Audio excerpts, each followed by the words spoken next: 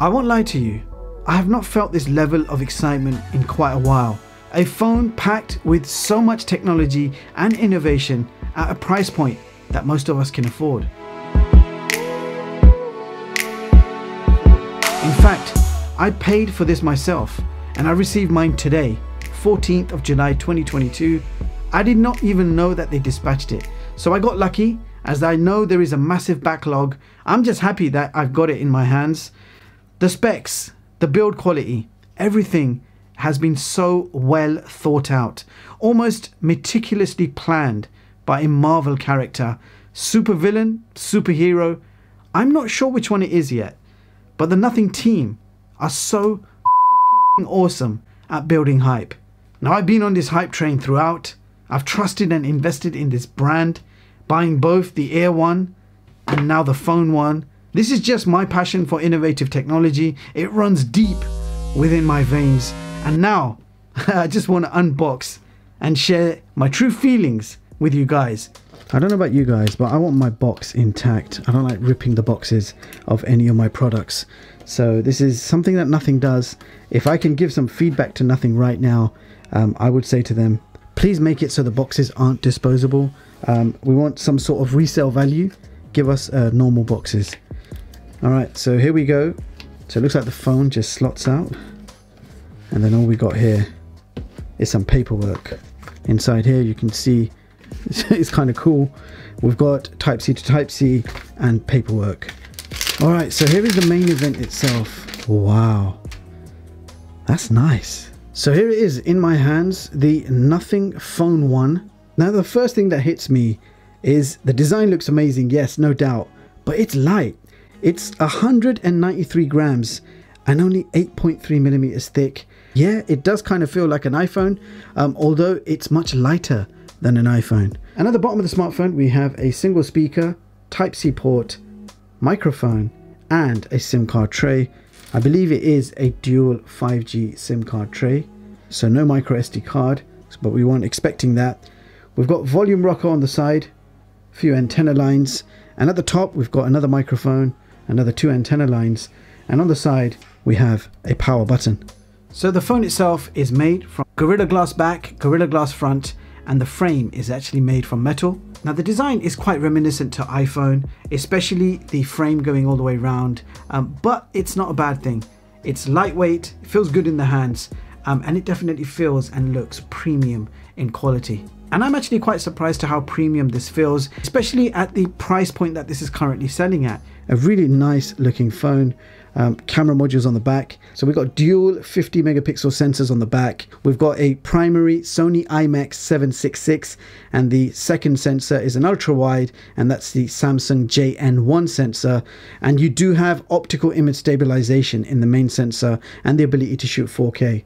And that is all I need. So I'm really interested in the 4K video capabilities. Turning it on for the first time, I'm literally keeping that power button pressed. Now someone else on Twitter received a phone or nice startup and theirs was totally dead.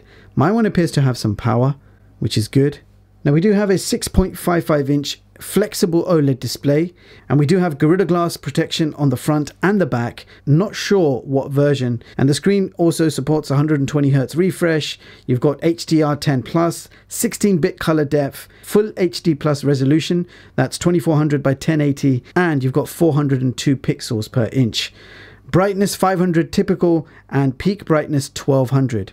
And if we have a quick look in settings, you can see an option there for smooth display. So automatically raises the refresh rate from 60 to 120 for some content. You can turn that off you're going to be 60 hertz all the time. So it's best to keep that on if you want to take advantage of the 120 hertz. Um, dark mode, it says, will never turn off automatically. So dark mode is uh, always on and I, I haven't got no complaints about that. Touch sampling rate is 240 hertz and the haptic motors are pretty good. Now I went for the base model 8 plus 128 variant. That's enough for me. There is no micro SD expansion, so that is the storage I have to play with. And I think I will be fine with that as I do have a habit of backing up my phones frequently. Now this phone is powered by the Snapdragon 778G Plus, which is a 6 nanometer processor, um, and that's going to give you a mid-range performance. The phone does support dual SIM 5G, you have a pretty good in-display fingerprint reader, and it supports Face Unlock. And this does have all the usual sensors, accelerometer, electronic compass, gyroscope, you've got ambient light sensor, proximity sensor, um, a sensor core and a front RGB sensor. Now for audio, you've got three microphones built in and dual stereo speakers. This phone does have a 4500 milliamp hour battery and it supports 33 watt wired charging. So that's 70 minutes for a full charge and you've also got 15 watts wireless charging and if that wasn't enough you've got 5 watts reverse wireless charging so you could place a pair of earbuds on the back and you can see wow and you can see they are immediately charging. Now this phone has an IP53 water resistant rating. Now let me tell you what that actually means. IP53 is just splash proof really. Um, it's not even properly rainproof. So take that with a pinch of salt. Forget that it's got an IP53 rating. This phone is not water resistant. Just keep it away from water. Keep it away from steam. Don't take it in the shower with you or anything like that. This doesn't have an IP68 rating and IP53. It's barely splash proof. So on paper, IP53 sounds good, but in reality, it's very basic protection against splashes. So obviously this phone does not come with a charger, so I'm going to plug my own charger in and I just want to see what sort of effect we get when we're charging. That was nice. Yeah, let's do that again. Wow. So Glyph interface is really cool. I haven't had a chance to play around with it. I've literally just unboxed this phone. Now, I just want to give you guys a quick walkthrough of the camera app. Now, first of all, slow motion mode, you have the option to select 1080p or 720p and the frame rate is locked to 120 FPS. In slow motion mode, you can zoom in 2x and continue your slow motion videos. Now, if we go to video mode, the highest resolution you can shoot is 4K at 30 FPS. So 30 FPS is locked at 4K. If we tap it, it goes to 720p, and that's when 60 FPS becomes unlocked. Um, and you can see the options right there as I tap it. 1080p, 60 FPS max, or 30. And then 4K, you can only have 30. If you select HDR, it's going to drop the resolution down to 1080p. So you can't shoot 4K HDR videos. HDR is limited to 1080p and it's also limited to 30 frames per second. If I tap that, you can also shoot 720p HDR videos. If I switch off HDR, then you can unlock it to 4K max. Other options you have, you can turn image stabilization on or off. Of course, um, you want to leave that on. Now, whilst you're filming 4K, you have the option to zoom in 2x and zoom out, and you can also take pictures. So that's where you're limited. You can also pause the video or stop recording. Um, if we activate the wide angle lens, you can still shoot 4K max and 30 FPS is locked, and you can take that down to 720p. So exactly the same resolution. And when you're filming 4K with the wide angle lens, you can't then change the lens. You only have the option to take pictures. So let's stop recording, zoom in 2x, and then record 4K 30. You have the option to at least zoom back out. So that's quite handy. Now let's jump to photo mode and I'll show you all the options you have. First of all, if we tap over here, you can see you've got settings, you've got your filters, you've got your resolution, you've got your motion photo on or off, and then you've got your aspect ratio, be it 4 by 3 or 16 by 9. Now, if you want to change the resolution, you're just tapping on the 12 megapixel, and that switches immediately to 50 megapixels. I really like how they implemented this. It's taken an element from iOS and has made it better. I really like this, the easy option to switch between the 50 megapixel and 12 megapixel. You have the option for wide angle shots and you can do 2x as well. Quickly show you what filters you have. So original, West, Palmer. I'm just going to go through them. I'm not even going to mention them now. So you can see a whole bunch of built-in fil filters that you can use should you wish to. So in portrait mode, you can change the aspect ratio and also you can use filters while in portrait mode. You can also adjust the bokeh effect and that you can see it working fine. And when you tap on more, you've got time lapse, pano, macro, and expert mode. So from my initial tests, really liking the camera, really liking the software. Um, I have taken some pictures and videos and I'll put some samples up on the screen.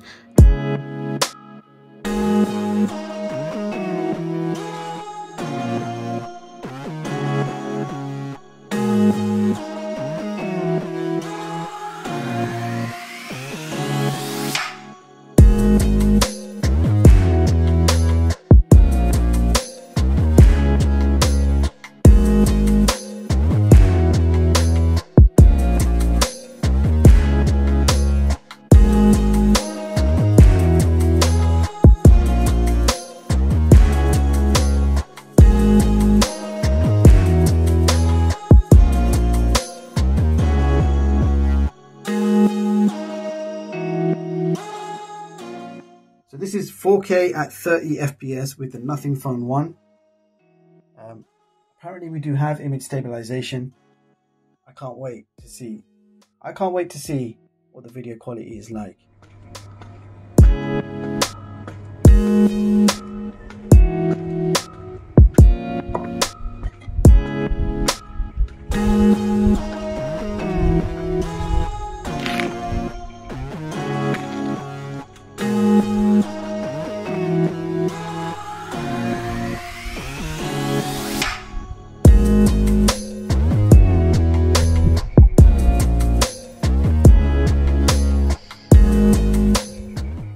So this is also a quick mic test. We are shooting 4K at 30 FPS, 1x.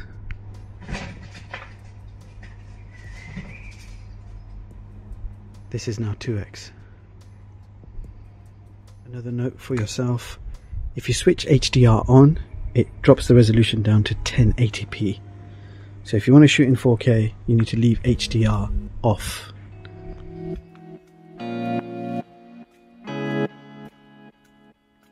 Front facing camera shooting 1080p at 30 fps. That is the maximum resolution and frame rate possible with this front camera. Okay, so I just want to walk you guys through the Glyph interface. So you can access it from settings, tap on Glyph interface. You can switch the feature completely on or off from here. You can actually set the brightness level to your own comfort zone. We've got ringtones. Now we've got a whole bunch of ringtones that you can select um, there are 10 built-in nothing ringtones.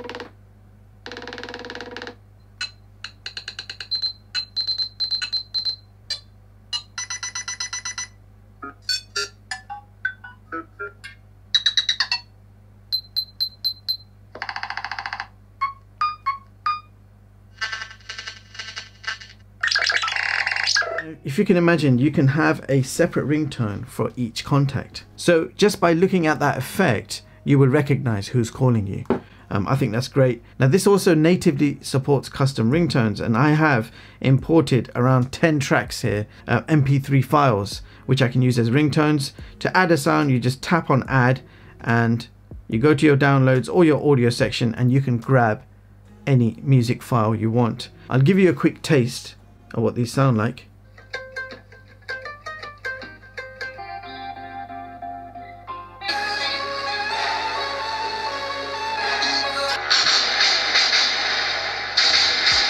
So I'm already a big fan of the glyph interface. No, it's not a gimmick guys. It's actually really, really well implemented. Every effect you see on the back also corresponds with a vibration. So not only does it look good, it feels good as well. It's an incredible effect which can be used to identify different contacts. So it's not just aesthetically pleasing, it can be quite useful too. So nice to be able to import your own MP3s with ease. But the only thing here is it's going to play the start of the track as the MP3. You can't actually select a certain section of that song. What would have been nice is if we were able to edit a certain part of the track to use as an MP3. Um, yeah, there are ways around it. You could cut the MP3 file yourself, but if we had a native way of doing it from here, that would have been awesome. So that's your ringtones. You've also got different notification sounds. So if you tap on notifications Again, you've got 10 sounds by nothing and you can add your own notification sounds if you want. Okay, so I'm going to quickly go through these with you as well. Notification sounds, guys.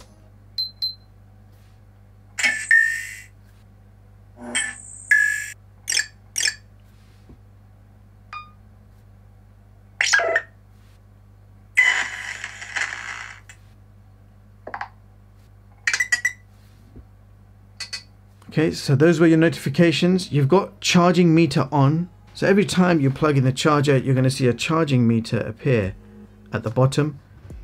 And it lets you know how much battery is left in the phone. We've got Google Assistant slash feedback. So every time you trigger the Google Assistant, the glyph will respond accordingly.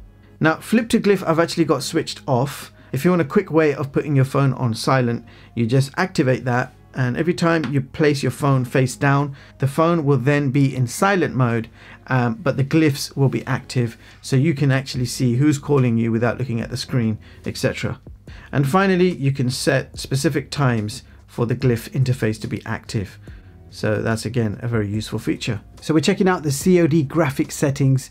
You can see very high and max are both selectable at the same time, which is which is pretty good and I've got it set to realistic. So let's just check out some gameplay. A quick mention of the dual speakers. One is bottom firing and the other one is on the earpiece. We're capturing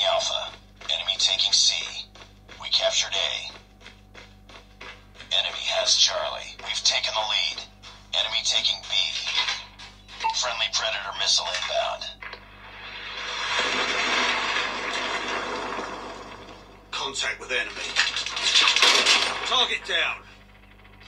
Enemy contact. Targets in sight.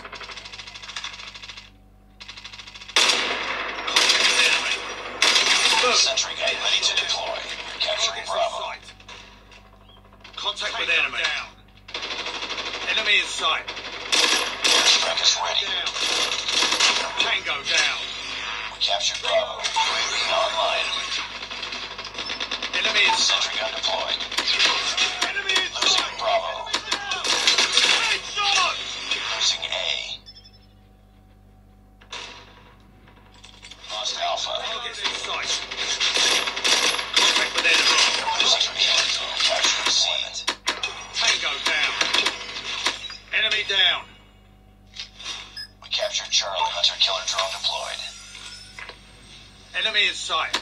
Friendly airstrike incoming. Enemy down. Hog it down. Sentry gun ready for deployment. Keep on. We're winning this one. Sentry gun deployed. Airstrike is ready. Target down! Tango down! Enemy down! Changing man. Enemy down. So as you guys just saw, the gameplay is pretty good on this. Call of Duty Mobile plays very smooth and the graphics look pretty good. Um, phone has not heated up much, it's just slightly warm to the touch. Quickly check out a few things. So DRM info shows Google Widevine level 1. And if I open up CPU-Z, you can check out the clock speeds. And you can see it's running Adreno 642L. And if we go to system, you can see we're running Android 12 and there is some software and kernel information. I'm going to run a very quick speed test. And in the Wi-Fi speed test, we've achieved download speeds of 62 and upload speeds of 18 megabits per second. And this is typically the top speeds we achieve in our office. Looking at the benchmarks, beginning with Geekbench multi-core score of 2934, single core score 715. So here are the results for the Antutu benchmark test. You can see we've achieved 571k. Now what I want to look at now is the temperatures. So starting temperature 35 degrees and after completing the test you can see the temperature is at 37 degrees. So nowhere near overheating. So there you have it guys, that was my first look at the Nothing Phone 1. Going over some of the main features, glyph interface, custom ringtones, a full camera walkthrough and lots lots more. At this stage I feel my money has been well spent. The Phone 1 is an absolute marvel to work with. The performance of the Snapdragon 778G Plus is very good, probably one of the best mid-range gaming performances I have seen so far. Touch sampling is a bit on the lower side, but not really noticeable when gaming. OLED display is absolutely gorgeous. I love the OS. It's totally minimalistic, but it gives you a stock-like experience and it has easy access to everything you need. You can tell a lot of thought went into the software as well as the hardware. Now I don't see nothing taking many shortcuts here, apart from not telling us what version of Gorilla Glass we have on the front and back. I'm sure it's not going to be Victus, um, but I'm hoping it's at least Gorilla Glass 6. Now, one issue I've come across is the face unlock. It's a bit temperamental. As you can see, face not recognized. It doesn't work every single time, and I'm sure a firmware update will fix this. Fingerprint sensor, on the other hand, is awesome. It's nice, fast, and accurate. Other than that, I've not come across any other negative points. Um, the gaming is great. The performance is super fast in no matter what I do. There is no overheating issues. The phone barely gets warm to the touch. Highest temperature I've seen is around 45 degrees, and that's with an hour of non-stop gaming. The cameras are actually surprisingly good. Amazing results for both photos and videos. I especially like the 4K video quality and the stabilization was superb. Now I can sum this up in a more simple way. Take it this way. If iPhone and Pixel had a baby, it would be the Nothing One. When I'm holding the phone in my hand, it feels like an iPhone. When I'm taking photos, it feels like a Pixel. When I'm shooting videos, it feels like an iPhone again. Software is Android, but elements of iOS is there. The very useful, tiny elements. And I love how they implemented them. For example, changing the camera resolution with a single tap. This phone was not made to compete with other mid-rangers. This was made to defeat them all at once. I can't think of a better phone you can buy right now that beats what the Nothing One has to offer for this price point. Even if you take away the glyph interface, which some of you are calling a gimmick, it's not a gimmick, it's actually useful and a pleasure to use. I believe this is the best mid-ranger you can buy right now under 400. My full detailed review is coming soon, so stay tuned because there is still lots to learn about this phone. My SIM card is in the phone right now I am daily driving this every single day for at least 30 days or maybe longer because I like it that much. And if there's anything specific you want me to test or compare it to, then do let me know in the comments.